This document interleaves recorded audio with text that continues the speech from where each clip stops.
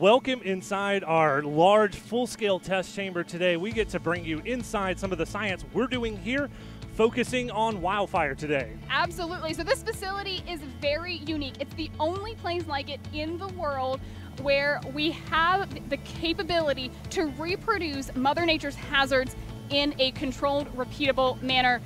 So, that's part of what we're going to be looking at today, right? We're looking at how flames could cross a fuel break. Yes. So basically, we have two uh, fuel beds here. One of them is the source, the one the other one is the target, Mhm. and we add the wind component again to this. And we want to look what should be the, the, the width of the gap that the fire doesn't bridge over.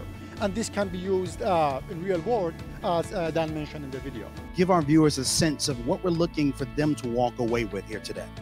So what we're going to see in this first test is we're going to see a line fire started at the leading edge. Um, we have about a 20 mile per hour wind, and that fire is going to spread through what we call our source fuel bed. It's about 40 feet long, 12 feet wide. We're going to see fire spread that 40 feet in under 10 seconds. I'd estimate maybe eight to nine seconds, and then it's going to reach a gap. And that gap currently is at just under four feet, about three feet 11 inches, or in metric terms, 120 centimeters. And what we expect to see in this first experiment is that fire to bridge. We're going to see the fire, the flames licking across the gap and to ignite the target source. And so in this 120 centimeter gap, we expect the fire to spread. In the second test, we're going to increase that gap size and we're going to see what happens then. Are we ready for the first test? We're ready to go. I'm going to get started here. I'm going to let you go and I will backpedal here and get out of the way so you folks can see everything that's going to take place. We are starting the fire now, and off we go. As you heard Dan mention, moving across that source fuel bed. Dan said in around 10 seconds or so. Timing is everything when it comes to science. As you can see, that fire is quickly moving across that source fuel bed. Those pine straws are feeling it right now and that fire is pretty much uh, consuming that source fuel bed, those pine straws. And now we're looking at will it bridge. We're expecting it to. It is coming across that fuel break. And there you have it. We've got the flames on the other side from the source fuel bed to the target fuel bed. We got a thumbs up from Dan Gorham there. And uh, the crew now will start to prepare for test number two. Let me come back on camera here and just talk to you folks for just a moment. So there you see it. We got what we were hoping for with the first test. Got a couple of thumbs up from Dan Gorham.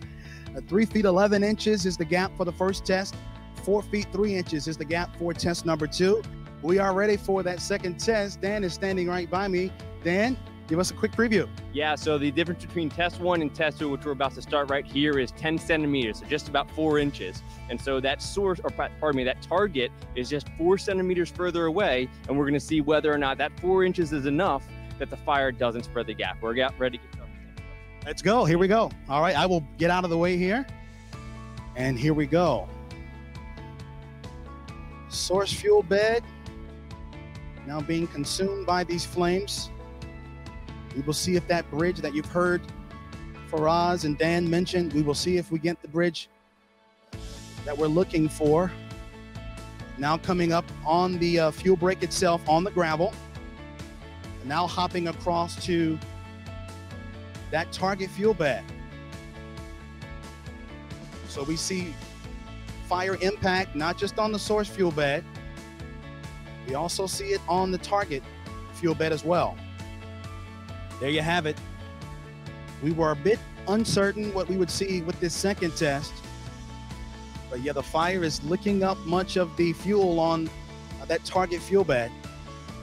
As those pine straws feel the weight of that fire and the 20 mile per hour wind speed. An incredible day for us here at IBHS. We are proud to have brought you a live look inside our research as it happened.